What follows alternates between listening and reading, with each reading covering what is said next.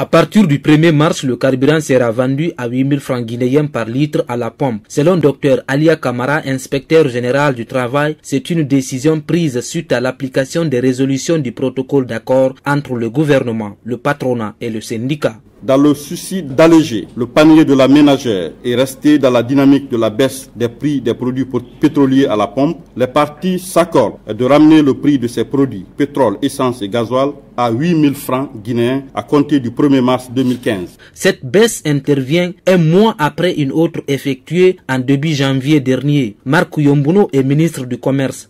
En deux mois, nous sommes à 20% de baisse par rapport à 10 000. Et donc, euh, il revient à tous les acteurs de faire en sorte que la baisse soit une effectivité à tous les niveaux. Si le transport baisse, ça, va, ça doit se répercuter. Et a d'autres activités économiques aussi où le carburant est un ingrédient. Il va sans dire que ces acteurs aussi doivent prendre acte de l'acte gouvernemental de la baisse des prix. Il faut rappeler tout de même que des organisations syndicales réclament une baisse de moins de 30% du prix du carburant.